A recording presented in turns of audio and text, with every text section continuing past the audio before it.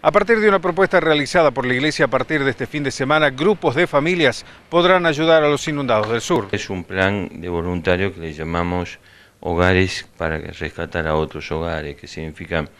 familias eh, o, personas individuales que quieran ir eh, objetivamente a trabajar durante una jornada en limpiar, en ayudar, en ponerse al servicio de cada familia, en sacar adelante su hogar, porque ahora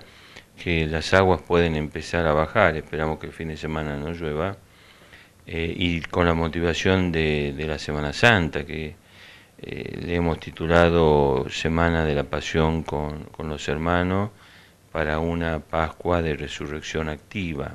que significa eh, padecer con el que sufre y al mismo tiempo generar cambios de acción desde la fe. Entonces, esto lo vamos a ir trabajando y el Padre Acosta que me llamaba hoy, eh, ellos dicen que calculan un mes de dar de comer a la gente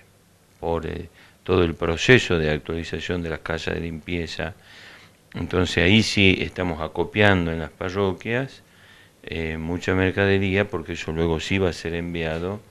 objetivamente a la gente porque bueno, un mes de trabajo va a ser intenso. Aquellas familias que deseen inscribirse para poder colaborar justamente con los hermanos del sur, ¿dónde pueden hacerlo?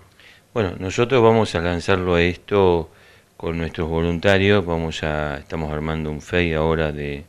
de comunicar todo lo que se va haciendo y ahí se van a poder inscribir.